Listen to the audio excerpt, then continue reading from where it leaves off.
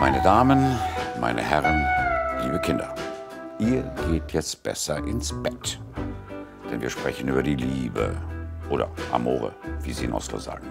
Hier kommt eine Frau, die uns beigebracht hat, dass in einer guten Beziehung niemand die Hosen anhat. Liebes Publikum, nicht das, was Sie denken. Ich rede von Sex. Unser heutiger Gast hat vielen Paaren dabei geholfen, aus der 96 wieder eine 69 zu machen. Sie weiß mehr über Dreier als der gesamte BMW Fanclub an Recht West. Und auch ich würde sie befragen, wenn ich nicht schon alles wüsste. Liebes Publikum, in der heutigen Ponyhofschau ist sie zu Gast, die wunderbare, bezaubernde und einzigartige Paula Lang. Wie toll du aussiehst, so schön. Hallo. Nimm Platz. Erstmal gucken, was hier los Ich bin noch nie so nett angekündigt worden. Ernsthaft? Ja. Paula, wie schön, dass du da bist. Ich freue mich sehr. Du bist ja, also das wissen natürlich sehr viele Leute von dir, dass du das machst. Dass du mit Leuten über Sex redest. Und das hast du so oft schon gemacht. Und ich habe so oft schon gesehen, dass ich mich mit dir furchtbar gerne über alles andere unterhalten Super. würde. Was du sonst so machst, oder? Was machst du sonst so? Ach, ähm, mein Buch ist äh, auf dem Markt. Das heißt, finde dich gut, sonst findet dich keiner. Schöner Titel. Und äh, da geht es um Selbstliebe. Wichtig. Ist das so ein Buch, was ich mir kaufe und der Mann liest es heimlich auf dem Klo, weil er sich nicht traut, es zuzugeben? So funktioniert es ja immer. Das sind meine Lieblingsbücher. Also, ja. Fantastisch. Nein, ich habe gedacht, wenn so viele Leute ähm, mir auf Facebook schreiben und die alle dieselben Probleme haben, nämlich wie mache ich mich noch passender für irgendjemand anderen, dann ist es Zeit zu sagen, nein, das ist der falsche Weg. Die Leute versuchen ja immer, ich verallgemeiner hier, ja, aber viele versuchen, ähm, ich muss abnehmen, ich muss kürzere Haare haben, ich muss längere Haare haben, ich muss äh, noch einen Studienabschluss hinlegen, dann werde ich sicher jemanden finden, der mich lieb hat, obwohl sie es selber nicht mehr schaffen, sich in, den, in die Augen zu gucken im Spiegel und zu sagen, Mensch, genau so wie du bist, bist du eigentlich ganz schön gut. Guck, was du alles erreicht hast. Und ich habe so viele Jahre darunter gelitten, dass ich dachte, jetzt kotze ich mich mal so richtig aus. Also es hat sehr viele autobiografische Züge und äh, ich hoffe, das hilft. Du bist ja unter anderem auch so quasi Experte für so Zwischenmenschliches. Menschen miteinander, ne? Männer und Frauen miteinander, Männer und Männer miteinander, beruflich, privat. All das soziale Quatschgedönse, was wir mit uns rumschleppen, schmeißen wir gerne jemandem wie dir vor die Füße und du sollst uns erklären, wie es läuft. Ich frage mich jetzt, ob es dir auf Partys so geht wie so, also so über 30 Partys wo dann so beispielsweise einer sagt, oh, ist mein Kumpel, der ist Dermatologe. Und dann rennen so ab zwölf, wenn alle so leicht einen im Tee haben, alle hin und sagen, äh, Edgar, super geil, ich habe hier diesen Ausschlag, vielleicht kannst du mal drauf gucken.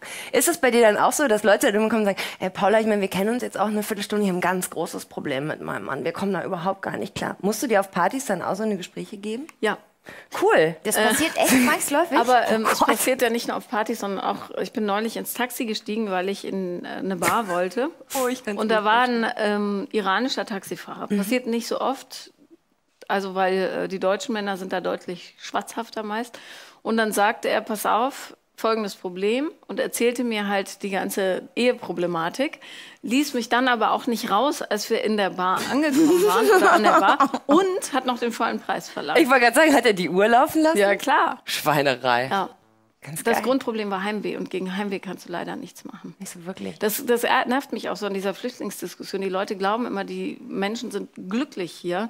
Die, das kriegst du ja nicht raus, da wo du aufgewachsen bist. Ich habe es mal versucht. Ich war ein Jahr in Amerika und hatte Heimweh.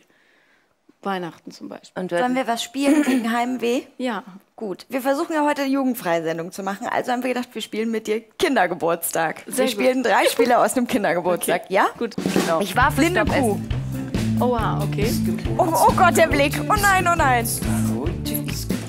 Gar nicht so wild. Wir müssten dazu aufstehen. Ihr wisst ja, dass ich nicht räumlich sehen kann. Ich bin auf einem Auge blind und darum ist Dinge treffen für mich monströs schwierig. Cool. Genau deswegen haben wir das Spiel Vorteil für Okay, mich.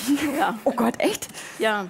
Ja, gut, das ist halt dann Das einfach. haben wir auf dem Kindergeburtstag aber nicht gespielt. ich bin So, halt du siehst, wir haben äh, keine schlecht Kosten und mit Mühen Bällen. gescheut. Es gibt hier Strümpfe. Diese Wir prügeln Strümpfe jetzt gegenseitig so lange. Um. Schade. okay. Also so, dass Ah. du im Optimalfall was treffen würdest, wenn du könntest. Ist ganz gut, wenn er nicht ganz auf dem Boden ist. Habt ihr die Orange gefärbt? Nee, die ist Nein, so die ist so. Hier im Studio. Was ist ja. das denn hier? Wieso ist denn meins so? Aber sag mal, ähm, das spielt nur auf Kindergeburtstagen, ja? Ich, Ich möchte auch mal den Kindergeburtstag möchte ich gerne sehen. Schimmel So, Orangen. auf die Plätze. Warte, warte, stopp, stopp, stopp. alles Lass sie liegen, ist nicht so schlimm. unfair. aber darf ich das Ding anfassen oder nicht? Nee, okay. Entschuldige, wenn du das sagst, klingt das ganz komisch. Auf die Plätze, fertig, los. Entschuldigung. Juhu! Guck mal, der Tanzunterricht. Oh Gott, Erst Entschuldigung und dann. Juhu, ist gut. Du hast doch gelogen mit dem räumlich-Ding. Es Warte, klappt. oh nein, Oh, jetzt oh, geht's oh. rückwärts. Warte. Ey, an, Annie. Warte mal. Oh, Hast du mich gerade angepöbelt? Oh, warte, ich bin Nein. gut. Ah, Achtung, nee, noch nicht mehr. Oh, Pfosten. Ja, schade. Pfosten. warte, buh. Ah, nein, shit. Jetzt komme ich von hinten. Warte. Ah. Frau Lambert zäumt das Pferd von hinten ab. Verdammt Oh, nochmal, Ey, jetzt. das gibt's ja wohl nicht. Die Frage ist, ob man, Warte, ich wenn man Volley. gewinnt, wirklich ein Sieger ist. Mann, ich treff nicht. Jawohl.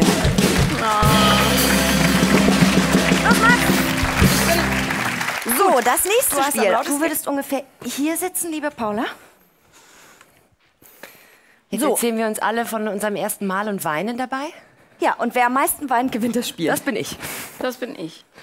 Ich kann mitweinen. Ach so, ich dachte. Kannst du auf Knopfdruck? Nee, aber ich kann mitweinen. Also wenn du weinst, würde ich auch weinen. Du bist so ein Empathieweiner. ja. was passiert? Einhändig rausgreifen, so Ja. schnell du kannst, bis die Box leer ist. Und versuchen, möglichst eins. Ohne die Box festzuhalten. Ohne die Box festzuhalten. Nee? Doch, machen wir. Okay, auf die Plätze. Fertig. Los. Scheiße! Das sieht bestimmt total super aus, ne? Oh nein, nein, nein, nein, nein.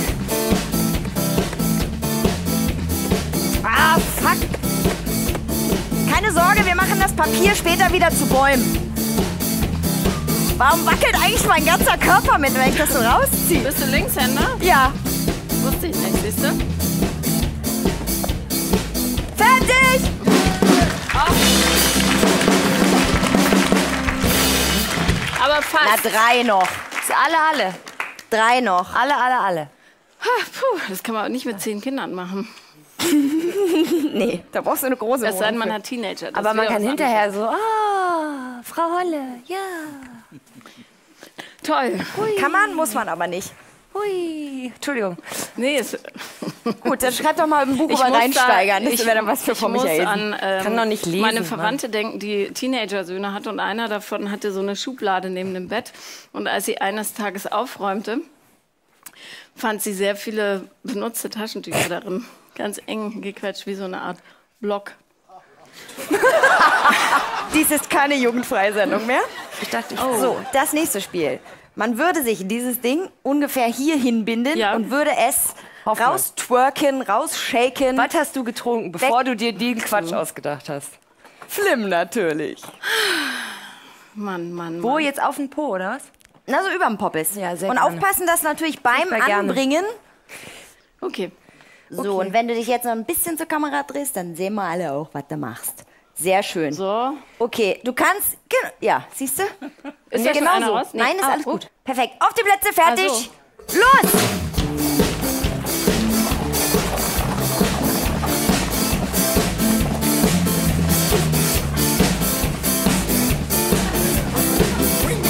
Oh, das ist schon mal. Schüttelt's noch bei Ich dir? kann nicht, ja, aber. Ist alle? Da Dann drei noch, drei noch. Alle, alle, alle.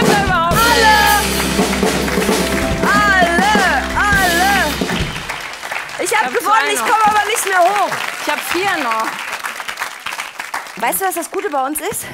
Egal was passiert, der Gast gewinnt immer. Heutiger Sieger, Paula Lambert! Hey, danke.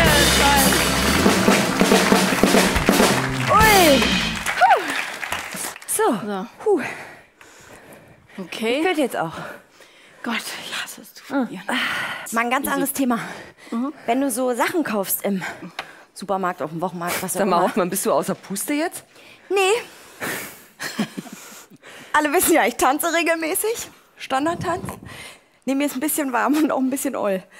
Ähm, wenn du in den Supermarkt gehst und Ja. Produkte kauftest, achtest du darauf, was da drin sind? Also drehst du die Verpackung um und denkst so, "Hm, das klingt komisch, das will ich nicht. Oder da ist was drin, was ich nicht kenne, deshalb kaufe ich das nicht? Also ähm, es klingt ja doof, aber ich bin, habe jetzt dieses gewisse Alter erreicht, wo man da durchaus zur Vernunft neigt. Ich zumindest. Ich habe mich viele Jahre in meiner Jugend von Fertigprodukten ernährt. Und äh, obwohl ich Leistungssport gemacht habe und trotzdem leistungsfähig war durch, durch Dosensuppen und Tiefkühlpizza.